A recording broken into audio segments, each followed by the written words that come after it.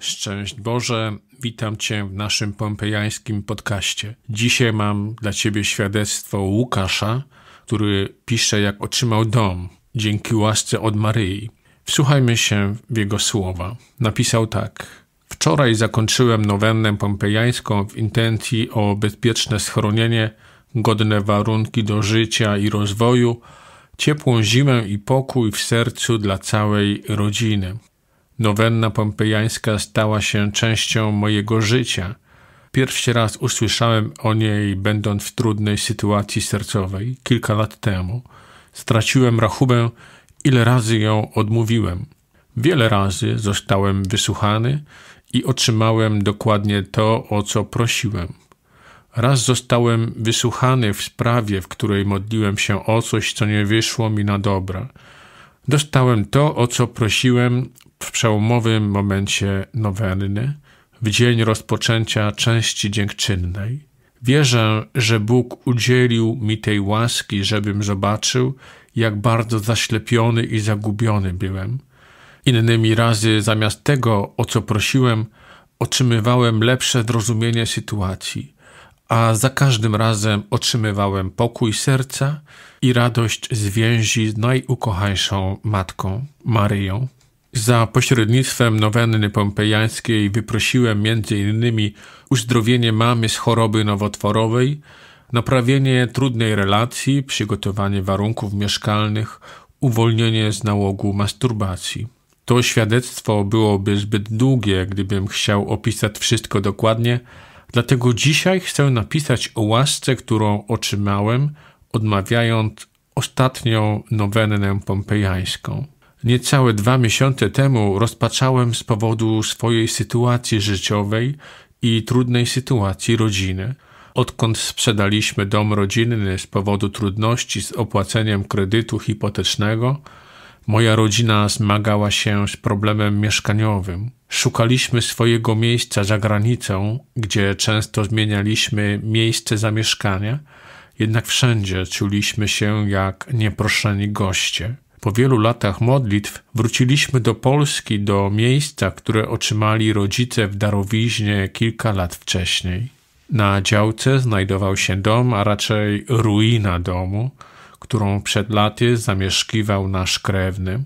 Brak bieżącej wody, kanalizacji, brak ogrzewania, przepalona instalacja elektryczna, która dawała o sobie znać przy zapaleniu światła – Dwa pomieszczenia, z których jedno pełniło funkcję kuchni, salonu i sypialni, a drugie było zamieszkane przez tatę od lat będącego w separacji z mamą i całą resztą rodziny. Przez napiętą sytuację w domu nie mieliśmy sił ani chęci do pracy nad tym domem. Dzięki mamie, która zawsze stawała na wysokości zadania, udało się podłączyć wodę miejską i zainstalować piec żebyśmy mogli cieszyć się podstawowymi warunkami. Mimo to ten rok przeżyłem w kryzysie, w walce wewnętrznej i modlitwie. Podejmowałem działania, żeby odmienić tę sytuację, jednak wszystkie kończyły się fiaskiem. Zawsze czegoś brakowało środków finansowych, sił psychicznych, fizycznych. Czułem, że ktoś podrzuca mi ciągle kłody pod nogi i poddawałem się nierzadko obarczając winą Boga, postanowiłem odmówić po raz kolejny nowennę pompejańską w intencji o potrzebne warunki mieszkalne i tym razem zmieniło się wszystko. Tata spokorniał i przeniósł się do garażu. Pojawiły się siły do zmiany i nadzieja. Mój brat, który wcześniej nie brał pod uwagę remontu domu ze względu na tatę, zaproponował odremontowanie części domu, która nadawała się już tylko do wyburzenia. Podjęliśmy decyzję i w miesiąc czasu zburzyliśmy pół domu. Wykonaliśmy prace betonowe, murarskie, przykryliśmy dach, wstawiliśmy okna. Znajomi, którzy odwiedzali nas w tym czasie, z niedowierzaniem patrzyli na metamorfozę domu, w którym mieszkaliśmy. Pogoda nam sprzyjała. Często mówiłem, że to pogoda dla nas. Pojawiały się środki na potrzebne materiały, dobrzy ludzie, były również trudności, którym stawiliśmy czoła.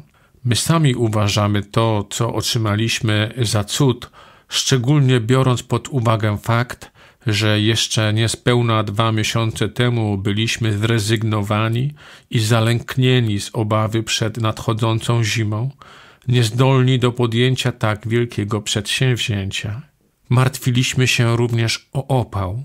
Od lata próbowaliśmy kupić węgiel, udało się kupić dopiero w trakcie trwania noweny pompejańskiej.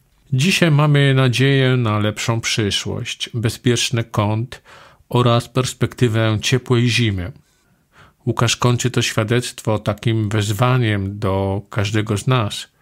Kochani, jeśli zmagacie się z czymś, zwróćcie się do naszej Maryi. Dla niej nie ma rzeczy niemożliwych. I konkluduje wyznaniem miłości: Kocham Cię, Królowo Maryjo. To świadectwo, można powiedzieć, jest takiego cyklu, jak trwoga to do Boga. Czyli kiedy pojawia się problem, sięgamy po różaniec, po nowennę pompejańską, ale na szczęście widać tutaj taką systematyczność. Łukasz modli się prawie stale, niewielkimi przerwami. Pisał o wielu łaskach, które otrzymał dzięki tej modlitwie. O łaskach, które dotyczyły spokoju wewnętrznego, opanowania nałogów, uzdrowienia matki, uporządkowania wielu spraw. Były to czasami, można powiedzieć, sprawy mniejszego kalibru, a tutaj dwa miesiące udało się przygotować dom na zimę, załatwić opał, zapewnić opiekę rodzinie. Matka Boża jest patronką rodzin.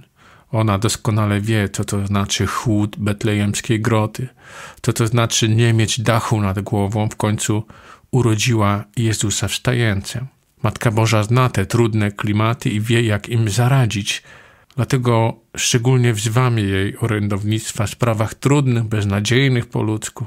Ona jest najbliżej Jezusa. Ona jest zawsze skłonna przyjść nam z pomocą. A my po prostu prośmy, prośmy w różańcu, modląc się za jej przyczyną do naszego Ojca w niebie, z prośbą o szczególne łaski poprzez ręce Matki Bożej Pompejańskiej. Dziękuję Ci za wysłuchanie świadectwa. Zapraszam Cię do archiwum naszych podcastów na YouTube, na koncie Rosemaria. Zapraszam Cię też do zasubskrybowania tego kanału, tego podcastu. I jeśli taka Twoja wola, podziel się tą opinią, wyślij ten podcast innym osobom, udostępnij, niech i inni dowiedzą się o łaskach otrzymanych w nowennie pompejańskiej. I dziękuję za uwagę. Marek Woś, dwumiesięcznik katolicki, królowa Różańca Świętego. Do usłyszenia.